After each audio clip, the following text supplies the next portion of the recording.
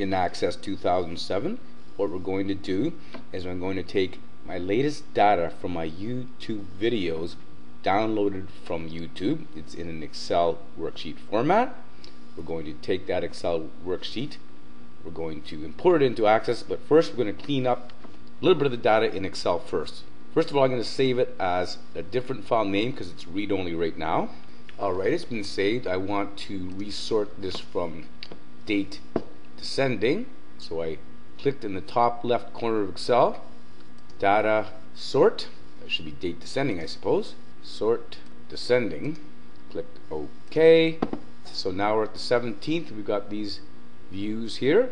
I'm going to import this into Access.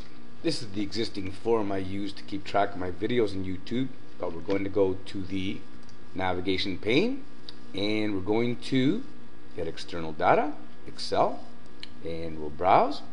We're going to import that Excel worksheet into a new table in the current database. I'm going to just keep those field names the same. I'm going to knock all that stuff out. There's no data there. I'm going to let Access add the primary key this is going to be the name of the table, YouTube stats underscore November 18, 2009. I'm not going to have the wizard analyze the table because it's a pretty straightforward table. I'll hit finish.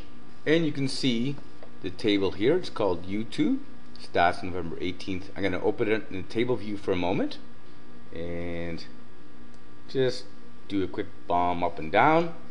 What I'm going to ensure is that these are actually numbers. This is actually a date time field so I'll go to design view of this table and I'm going to knock out all that stuff out there. There's nothing out there. And as you can see, yes, the date is a date time, which is fine. The views is a number. That's great. All this other stuff here, we're knocking out. What I'm primarily concerned with right now are views. So I'm going to do a quick query and sum up the views. Alright, my query I have not saved yet. I took the YouTube stats table drop down the ID number. I use the criterion. I want to see the last four days.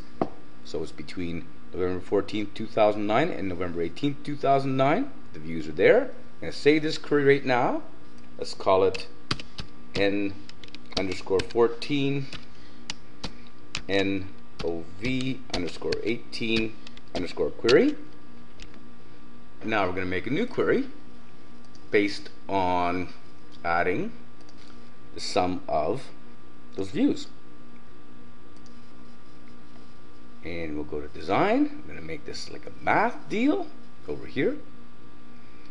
Actually, you can't see it here, but the totals for the math is just to the right, as you're undoubtedly aware.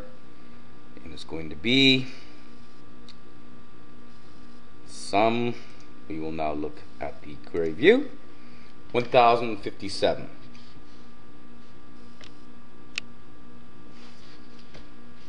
we will now save this query. So November 14th underscore November 18th underscore views total 1057. And that's briefly how you take Excel data from YouTube, import it into Access, shape the data, and do some calculations.